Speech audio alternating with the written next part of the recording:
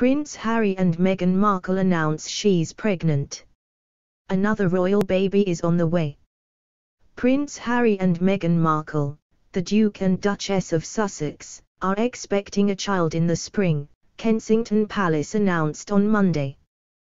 The announcement comes five months after the royal couple married at Windsor Castle in England. Prince Harry, 34, is a grandson of Queen Elizabeth II. Miss Markle, 37, is an American former actress.